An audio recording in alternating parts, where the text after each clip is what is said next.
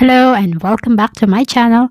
This video is about principles of bookkeeping controls and today I'm going to talk about payroll transactions. Recording payroll is one of the purposes of the journal.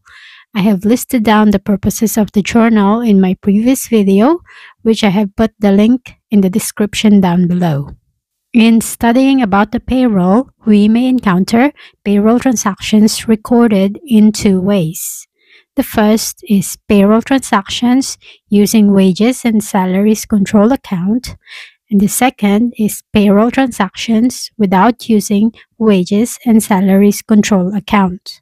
And we will go through both of them. First, let's go through payroll transactions using wages and salaries control account. Before I show you an example, let's find out what is the wages and salaries control account. This is a liability account used to control the payroll transactions every period. All the payroll transactions go through this account and at the end of the period, the balance of this account will be zero. Keep in mind that it's not always called wages and salaries control account. It could be wages control account or salaries control account as well. Now let's go through the example. Below is the ABC Limited's payroll record of all employees for the month. ABC Limited maintains a wages control account. So we are given these figures and if you already finished your textbooks, you already know the meaning of these terms. But to help you understand what these figures are and how are they connected, I have created a diagram. Okay, I know it looks a little bit weird, but please bear with me. I will explain it to you. Let's start with the gross wages first. This whole yellow-orange circle is the gross wages. It is the amount earned by the employee for the work performed for the period. The employee's NIC, employee's pension, and PAYE is inside the gross wages. In other words, the amount of these three is a part of the gross wages. These three will have to be deducted from the gross wages.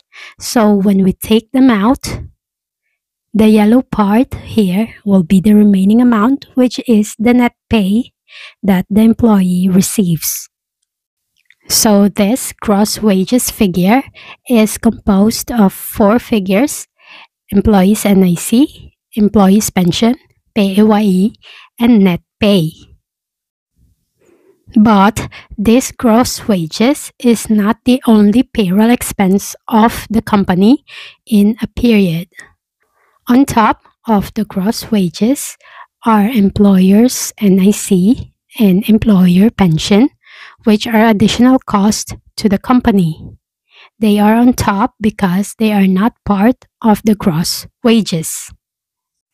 So this whole blue space here is the total payroll expense of the company for the period, which consists of gross wages, employer's NIC, and employer pension. This is also the amount that goes to the wages control account and wages expense account. This PAYE here will go to the PAYE account. These two NICs will go to the NIC account. And these two pensions will go to pension account. Now let's go back to the example and let's create the journal entries. And we will use this diagram. First, let's find out the journal entry for wages expense. Remember, wages expense is the whole payroll expense of the company. Therefore, this will also be the amount in our wages control account. So let's go back to the diagram and we can see here that the wages expense consists of gross wages, employer's NIC, and employer pension. So let's add those three.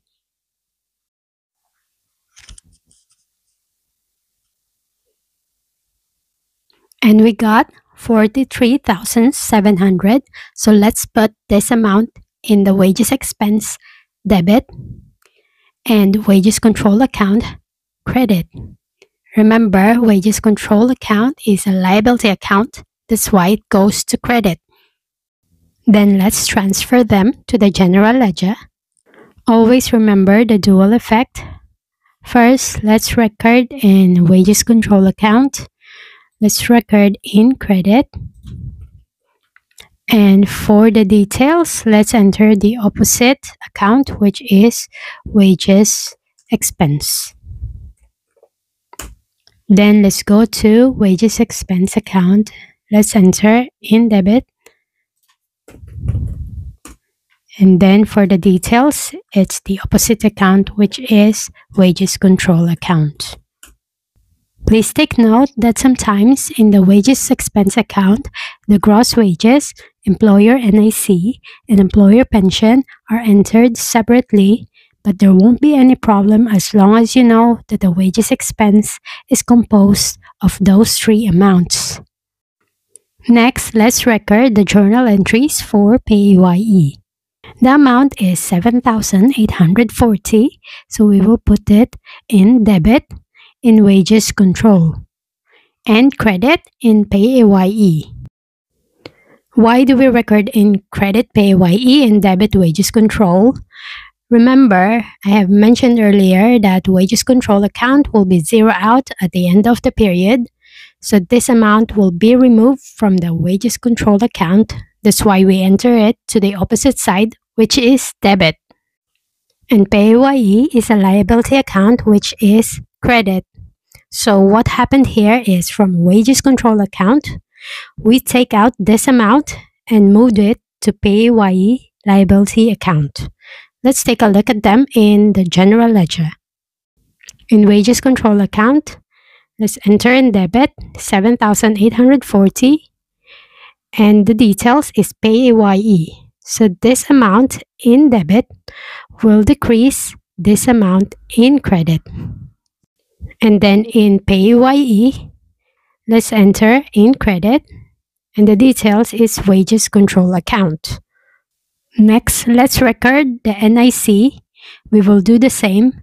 We will record in debit wages control account and credit NIC because NIC is a liability account.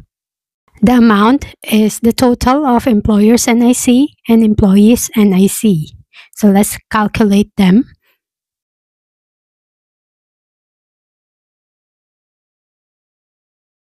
Then let's record 6,640.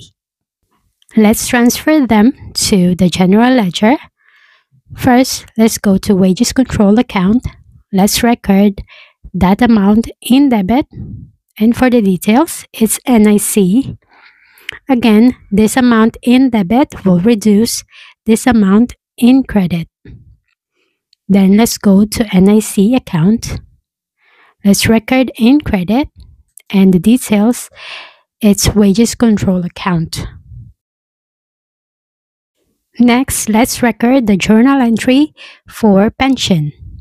Let's record in wages control account and pension account. The amount is the total of employer pension and employee pension, so let's calculate. Then let's record the 3,200 in wages control account in debit and credit in pension because pension is also a liability account. Then let's transfer them to the general ledger. First, let's enter in wages control account. Again, it's debit. And then let's enter the details. Pension. Again, this amount in debit will reduce this amount in credit. Then let's go to pension account. Let's record in credit and the details is wages control account. Then let's record the last journal entry, which is net wages. Let's record them to wages control account and bank. To calculate the amount, let's go back to our diagram. And it should be the gross wages minus employees NIC minus employees pension and minus PAYE. The amount remaining is the net pay. So let's calculate them.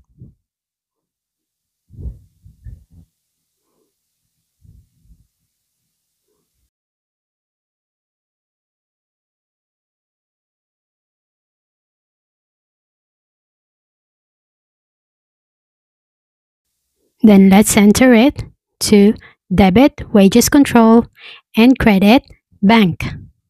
Then let's transfer them to the general ledger. Let's go to wages control account first. Let's enter in debit. For the details, it's bank. Again, this amount will reduce this amount in credit. Then let's go to bank account. Bank account is an asset and we record it in credit because this amount here is the amount transferred from our bank to the employee's bank account. So it reduces our bank account.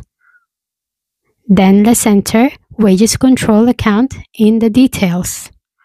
And now we're done in recording all the journal entries and transferring them to the general ledger. Let me just mention that pension is a liability account because this amount here in pension has to be paid to the pension provider. Also, PAYE and NIC are liability account because this amount here has to be paid to HMRC.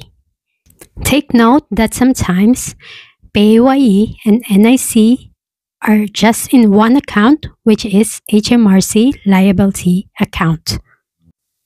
Also, the balance of the wages control account should be zero. It means the total of the debit should be equal to credit. Next, let's move on to payroll transaction without using the wages and salaries control account. Below is ABC Limited's payroll record of all employees for the month. Record the journal entries needed in the general ledger. These figures are the same figures that we used earlier, and we will record the journal entries without using wages control account. First, let's record the debit entry and we know that expense account goes to debit. Since we are recording payroll transactions, our expense here is the wages expense. However, if we take a look at the options, we cannot see the wages expense. But we already know that the wages expense consists of three figures, so let's go back to our diagram.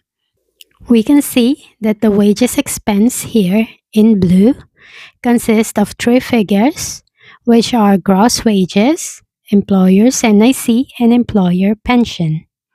So let's record those three figures in debit.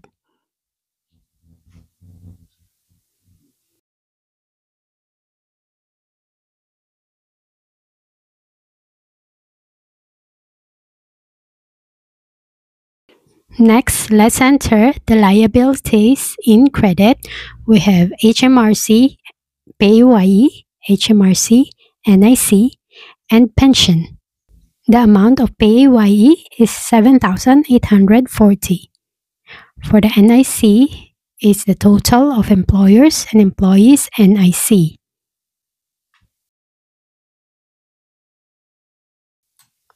which is 6,640.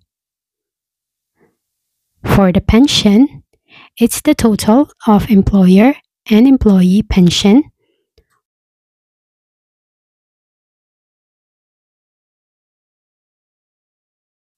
which is 3,200. And the last entry in credit is the bank. Please take note that sometimes you may see net pay instead of bank. It's the amount that is deducted from our bank by paying the employees, which is the net pay amount. And we already know how to calculate the net pay amount based on the diagram is the gross wages minus employees NIC, employees pension, and PAYE, and the remaining amount is the net pay.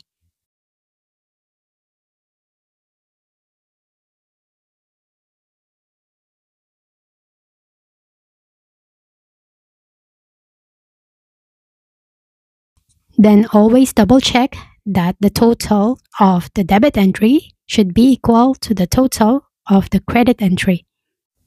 And that's it for today's video. For the next video, we will discuss about bank reconciliations. So if you want to watch more videos like this, please don't forget to give us a thumbs up and subscribe to our channel.